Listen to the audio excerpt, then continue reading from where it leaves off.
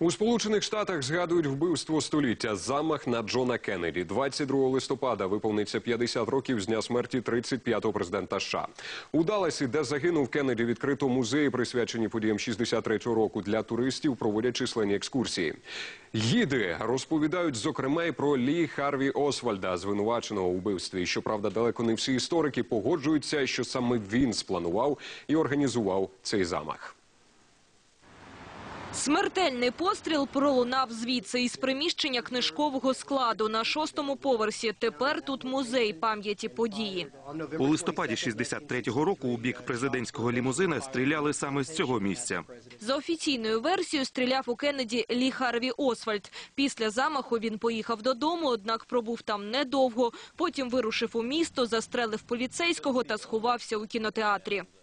Він прийшов у кіно без квитка, тому й викликали поліцію. Фільм, який дивився Освальд, «Війна – це пекло». Поліцейські його швидко знайшли в залі і схопили. У цьому відділку поліції чоловік провів лише кілька днів. Однак любителі історії сюди часто навідуються. У камері, за твердженням поліцейських, Лі навіть залишив свій автограф. Про переведення підозрюваного у вбивстві президента до окружної в'язниці Далласа знали всі у місті. Подію навіть транслювали у прямому ефірі. Поліцейські утримували кордон від натиску журналістів та натовпу. Було дуже багато людей. Однак один із них, бізнесмен Джек Рубі, проігнорував прохання поліцейських не перетинати кордон. Він зробив кілька кроків і вистрелив у затриманого.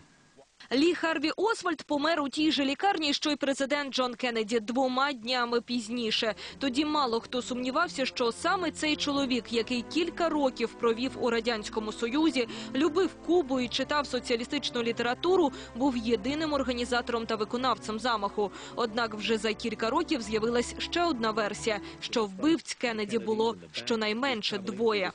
За півстоліття від загибелі 35-го президента США 3% матеріалів слідчих комісій ще й досі під грифом цілком таємно. А це провокує появу нових версій здогадів. Що ж сталося насправді? Ганна Гороженко, новини, телеканал Інтер.